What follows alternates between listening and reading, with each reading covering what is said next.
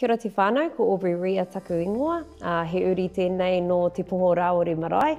I'm born and bred Kaiti Hard, uh, Te Poho Rāore Marae. I've spent most of my upbringing there. I'm a mama of four and I currently work in um, environmental administration for environmental projects, um, doing jobs for nature contracts. Um, I've also worked 10 years as a school teacher and 10 years as a community radio announcer. That's my, so that's me. Kia ora.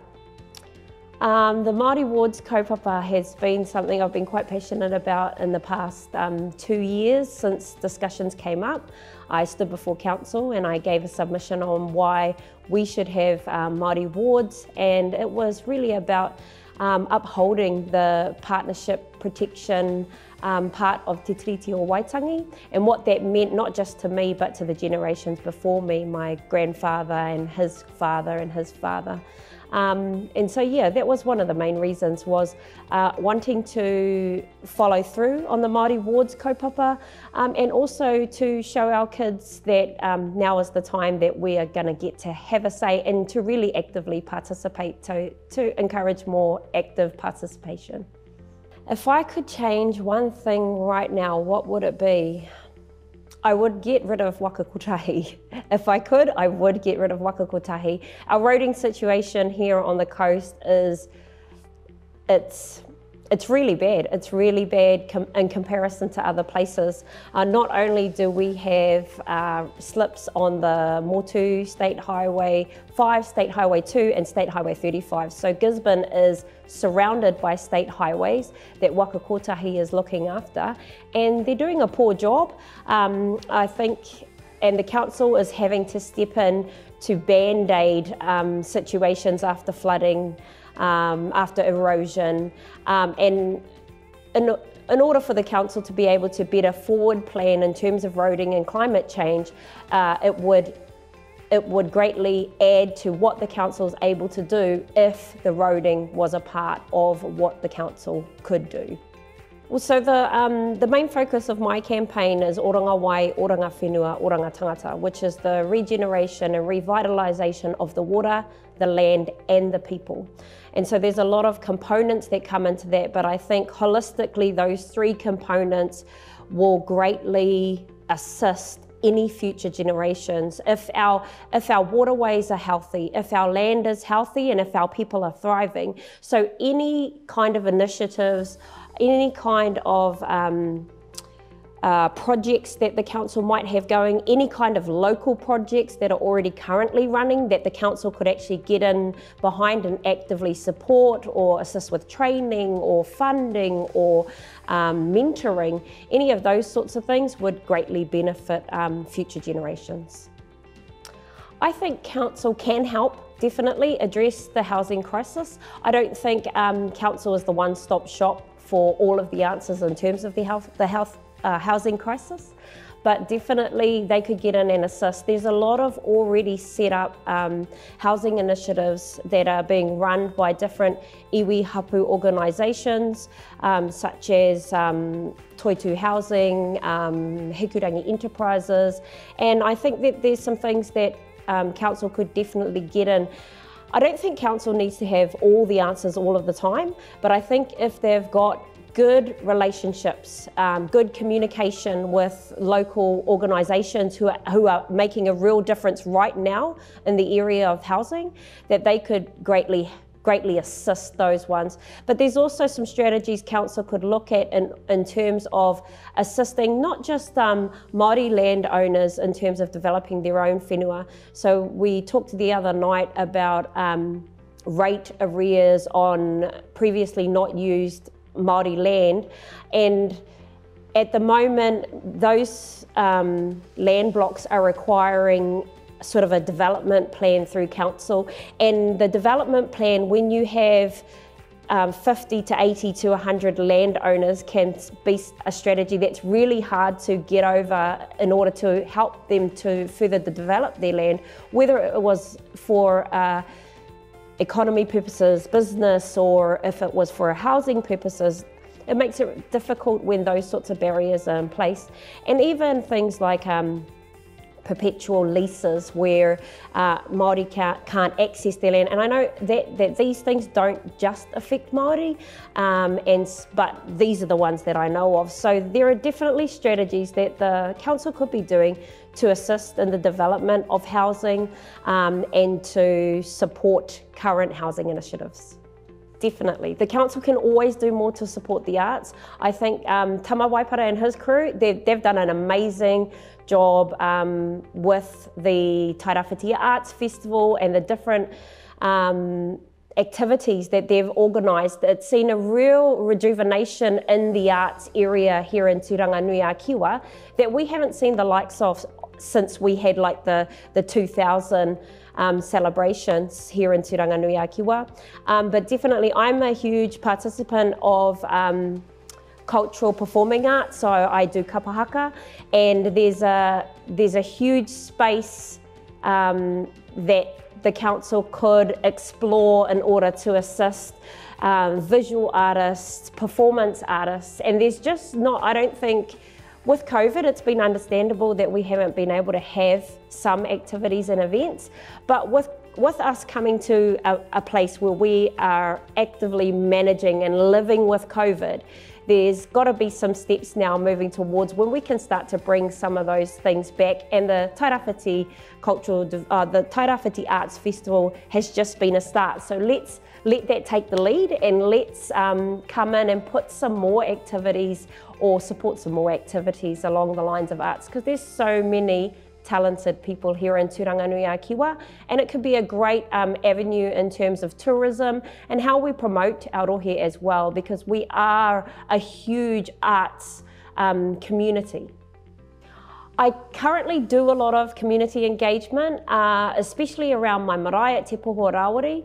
I'm, I'm quite fortunate that I I am a part of Te Poho Rawiri Marae because we do host a lot of community engagements, community events, things from small things from like birthdays right up into hosting ministers and um, we have a lot of um, business organisations that come in and have um, general huis or wānanga um, and they make those relationships. Outside of that, outside of um, Te Poho Rawiri, I work in the environmental space, so I'm currently working with both um, Te Aitanga Mahaki Iwi and Ngāti Oneone with both of their Jobs for Nature um, environment projects. So that um, gets me physically out on sites, on the ground, meeting people, um, just making conversations. I've learned a lot in the environmental space over the last um, few years, so that's uh, a huge being a part of the environmental community.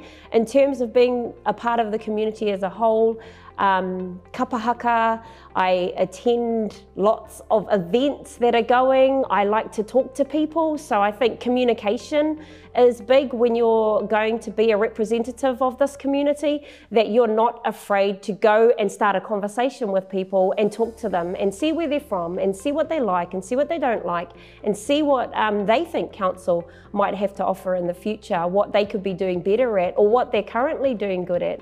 Um, yeah, so communication is a huge thing, uh, and I think that I definitely have those abilities that I can go out and, and engage in, in the community in lots of different ways, shapes and forms.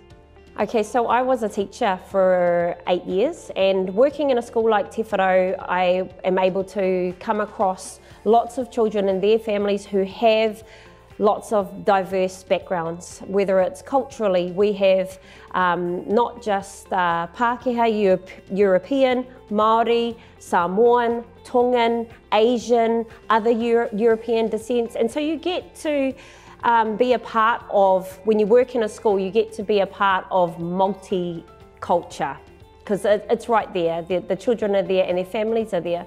And I think that as long as we stick to some really common values. So, common values like respect, um, common values like empathy, um, common values and common morals where we um, pay attention to each other and be, treating people like individuals, not um, throwing people into classes. I think that um, being Māori, I use a lot of Māori strategies and things from my own upbringing um, to help my students and to, but I do feel that because of my values, they're beneficial to any individual child or any individual person. So I'm not, um, wouldn't put a certain group in a box, that every child or every person should be treated with respect and empathy, and you should take the time out to speak to them, to speak to their families, to make a communication um, and a relationship with them. Yeah, that's how I feel. I think that if we're receiving money for three water assets, because Oranga Wai is a huge part of my push um, towards my campaigning and also something that I really want to focus on, that that money should really be redirected back into things that are water related. I think that um, there should definitely, we should definitely now, with climate change coming, start looking into um, things like biodiverse water collection and storage, especially for our smaller rural communities who depend on water tanks um, to to keep their houses running or keep their businesses running or their farms running, all of those sorts of things. So with climate change change coming and possible droughts or possible rainy seasons, I think a feasibility study right now to try and address some of the predicted issues that are to come along, that that would go a long way in helping our rural communities. I think that in terms of the housing as well, when we're looking at um, increasing the, the capacity of probably the, the township where we're introducing new communities is also looking at some biodiverse diverse water collection, storage and um, dis distribution in new communities. So we're not always tapping into that same town supply water source that there can be some sort of um, uh, water collection place that actually helps to subsidise the collection that we get in our in our taps and things like that. So there are definitely a lot of um, a lot of areas where if we are receiving money for waters, then we can actually put that money back into waters, um, our storm waters, having our water um, flushed out, our, um, you know, so that's a huge thing. We could put money into that to trying to solve that problem or at least making steps towards solving that problem. Um, and also uh, from an environmental stance as well, uh, and with the Three Waters reform and with the um, the resource um, reforms also coming in, the resource management, is how, do, how can we assist um, our rural whānau and our farmers in terms of if they want to do things like carbon credits, um, riparian uh, water uh, waterways planting with riparian plants, just things like that. So I really believe that if we're re to receive this much funding because of the water, that the, the money should go back into the water.